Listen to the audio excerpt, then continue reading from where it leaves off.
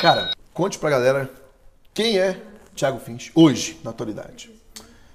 Bom, uh, tenho 25 anos hoje, não sei se parece. Um, hoje eu trabalho com marketing digital, mas eu adoro também várias outras áreas, tá? Como cinema. Então, eu não sou um profissional só nessa área, curto várias outras coisas. Mas a galera acaba me conhecendo mais por isso, né? Marketing digital. Hoje, por ser marketing digital, eu trabalho também com produtos não só digitais, mas alguns físicos e uh, montei a minha carreira né, com base nisso. É com mais nisso que eu sou conhecido hoje. Antes de eu conhecer isso, eu fiz outros negócios também e se você quiser saber mais, não sei se você tem uma pergunta sobre isso, mas eu esclareço. Mas é isso. Hoje faço cara, ele tá com vergonha, ele tá com vergonha de falar, mas o cara com 25 anos se tornou um milionário, multimilionário. Multimilionário, né?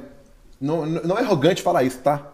É uma coisa boa, viu? Com um milhão de reais você não compra nada, na verdade, nos dias de hoje, né, cara? Patrimônio que você compra é muita grana para muita gente, mas quando você vai levar mesmo no real, coloca real versus dólar, não é nada. Não é nada. Pouco, é pouco dinheiro. Exato. Mas galera, o negócio é o seguinte: o cara, no primeiro lançamento dele, que ele nunca lançou, tá? Ele nunca vendeu o próprio curso. Vendeu mais de quanto? 24 milhões ou 25 milhões? 24 milhões de reais. 24 milhões de reais sim, um marco para o Brasil no primeiro lançamento, algo assim? Não só para o Brasil, para o mundo, porque foi o primeiro lançamento que foi lançado pela primeira vez com esse faturamento, 24 milhões. Você pode pegar lançamentos maiores, mas são lançamentos que já ocorreram antes. Então esse foi o primeiro lançamento com o maior lucro uh, do mundo. Não teve outro lançamento. Então, nós estamos falando de coisa mundial aqui, tá? Você tem que ouvir esse cara, ouve tudo que ele vai falar. E tem um detalhe, tá? Ele não precisou vender o curso para de, depois comprar Ferrari, Lamborghini, viajar o mundo, ter um lifestyle legal. Ele já vivia isso antes. Não é à toa que tem vários stories dele postando o saldo da sua, das empresas, né? Exato. Quanto um mês, um mês antes de você lançar o curso, mensal era quanto? Um milhão e meio, dois milhões. A média, a média majoritária sempre foi de um milhão mês.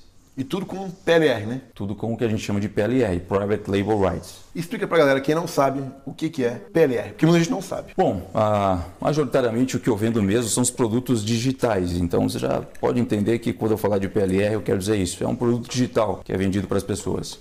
PLR nada mais é do que você comprar o direito de uh, um certo conteúdo que foi criado por uma outra pessoa para poder revender aquilo como se aquilo fosse seu. E você não tem necessidade de passar royalties, ou seja, comissões pelas vendas. Você paga uma vez só para ser autora, né? daquele conteúdo, você pode adicionar um pseudonome, pode adicionar o seu nome, etc. E você passa a vender aquilo como produto digital. Que é um. Pode-se dizer então que você compra na gringa é. e traduz para o Brasil Isso. e vende aqui. Isso. É, eu poderia comprar em qualquer outros lugares, mas como ele já mesmo falou, majoritariamente as compras desses produtos digitais nós fazemos na gringa. Então tem a necessidade de você traduzir, trazer isso para cá e às vezes ainda adaptar para a cultura brasileira para que é, você tenha um conteúdo que funcione. Hoje no Brasil, quem que é o cara que mais faz isso? É só você, né? Ou não? Tem mais? Tem várias pessoas que fazem PLR, né? Mas é, isso eu acabei trazendo para cá. As pessoas não davam tanta importância para isso até eu começar a falar. Antes de você fazer esse lançamento, você tinha quantos produtos hoje? Tinha quantos produtos rodando? 13 produtos de PLR e dois produtos que não eram PLRs. Total 15. Nossa, é muito produto, hein, cara? Pra é administrar isso tudo, hein? Sim. Porra! Quando eu entendi isso aqui, eu parei de ficar vendo videozinho de guru de marketing digital e comecei a fazer resultados reais como esses aqui, ó. Todos os dias, mais de 5 dígitos em 2023. Eu fiz isso aqui aplicando uma única estratégia de vendas que os gurus não querem que você saiba e que me gera esses resultados diários vendendo em diversos nichos, diversos tipos de produtos. E hoje eu posso dizer que eu sou um dos melhores do Brasil nessa estratégia.